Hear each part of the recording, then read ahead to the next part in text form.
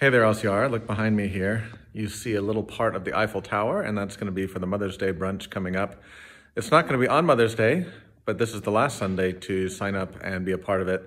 If you know, our fellowship crew does such a great job. You see some of these other props from the Mary Poppins Day. We have the carnival horses, and it's really just a wonderful uh, event and a time of celebrating. So this Sunday is the last time you can sign up for that.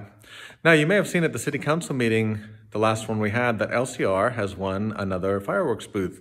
So we will be doing that again a few days before July 4th, and we will be looking for volunteers, uh, someone with an RV to park. I think those of you who have done the booths before know the drill, and uh, it's a great way for us to raise funds and also to do something fun for the community.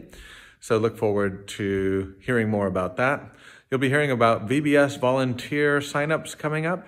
You're going to hear about our preschool Zoom that we're doing with Hiroshima next week.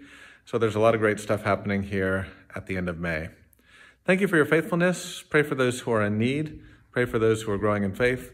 Pray for those who are being married this weekend. And may God bless us as we go on our way and hope to see you at the Eiffel Tower when we have the Parisian Chic Mother's Day brunch.